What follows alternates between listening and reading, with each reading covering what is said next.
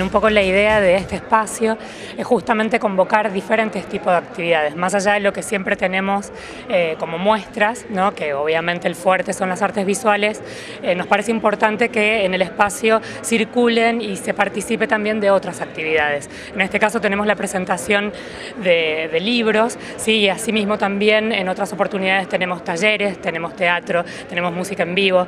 Lo ideal es justamente potenciar este espacio como espacio cultural y abrir las puertas para que todo el público pueda conocer las diferentes ofertas que tiene en materia de cultura San Rafael. Bueno, hoy día presentamos el 11, décimo primer libro de don Gabriel Montoro.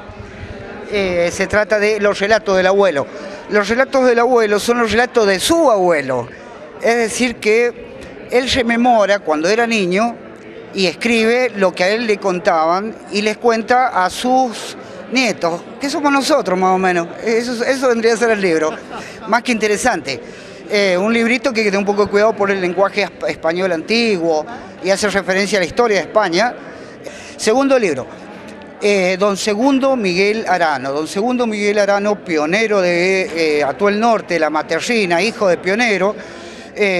la calle 7 lleva el nombre de su padre, don Miguel Arano. Este, él es Segundo Miguel Arano. Segundo escribe de los 18 años. Hoy tiene, este mes creo que cumple 85 añitos. Eh, su primer libro lo hizo, pude cristalizarlo yo, con 80 años. El día que cumplía los 80 años le llegaba con su primer libro al cumpleaños.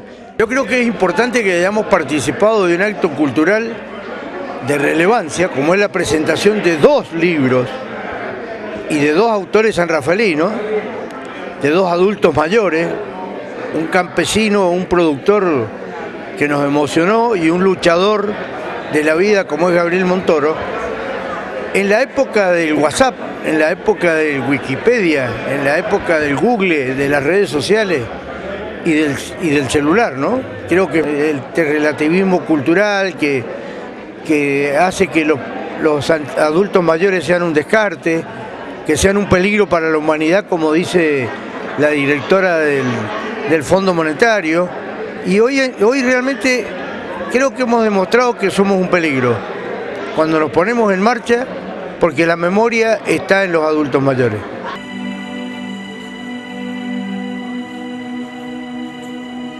El día que me quieras, no habrá más que armonía.